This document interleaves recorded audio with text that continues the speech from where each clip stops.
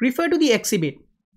Which data format is used to represent the data for the network automation applications? On the screen, we have few lines of code and it is your responsibility to recognize what type of code is being used.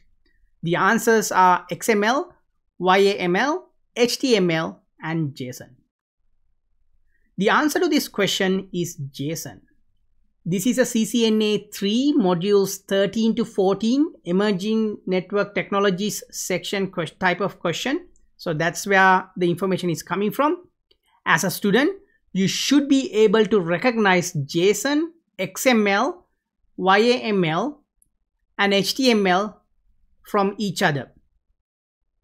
The common data formats uh, that are used in many Cisco and other networking automation applications include JSON, XML, and YAML.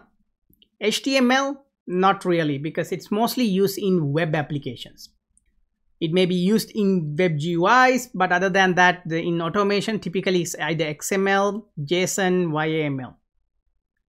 JSON is commonly used in Cisco uh, automation products, so you should be able to recognize it. And one way you can recognize is that the object is one or more key value pairs is enclosed in braces. See, we have braces right here. So that's one way we know it's JSON. And the keys must be strings. Uh, the keys that are strings must be ha have that double quotation like that. So that's one way you recognize that it is JSON. Uh, and we also have the colon uh, in between uh, the pairs. So right here, there are colons between the key value pairs. In XML, the data is enclosed within a related set of tags as opposed to having these uh, structure.